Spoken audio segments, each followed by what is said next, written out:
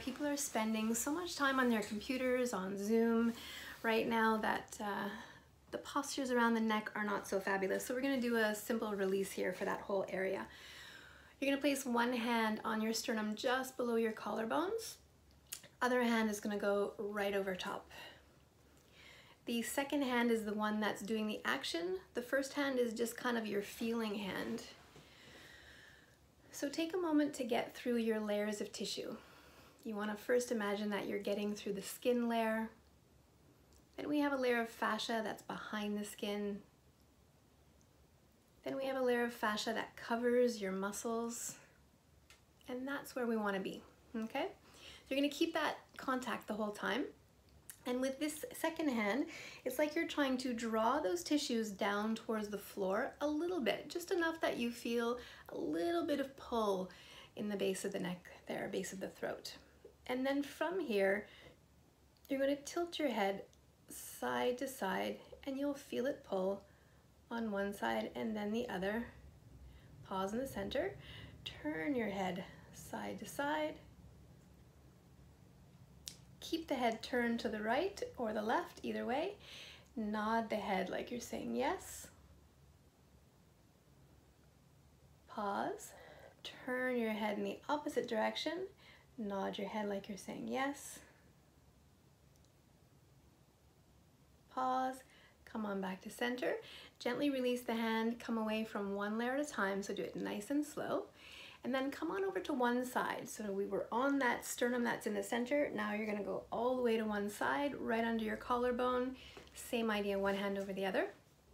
Take your, take your time to get through the layers, get through the skin, the layer that's behind the skin, and the layer that's covering the muscles themselves, and then draw all that down towards the floor and keep it towards the floor the whole time. And we're gonna tilt, we're gonna tilt just to one side this time, tilting away from your hands and back to center. You'll feel a little bit of a pull, that's what we want, but you're not looking for a maximum major, major stretch. Just go to the beginnings of that sensation of stretch. Now you're gonna turn your head side to side. Again, how big you go depends on that small sensation of a slight stretch. and release that. Same thing on the other side. So find the collarbone, go just below it, one hand over the other. Take a moment to get through your layers. And rather than pushing your way in, try to feel, um, it would be as though you had a cold stick of butter on the counter. If you first put your hand on it, nothing would happen. It's like putting your hand on a brick. But if you just stayed there, the heat from your hand will start to melt the butter. It's a little bit similar here. So it's not that you're pushing with that second hand. You're, you're putting some intention into that hand, but you're not pushing. Allow the tissues to accept you in.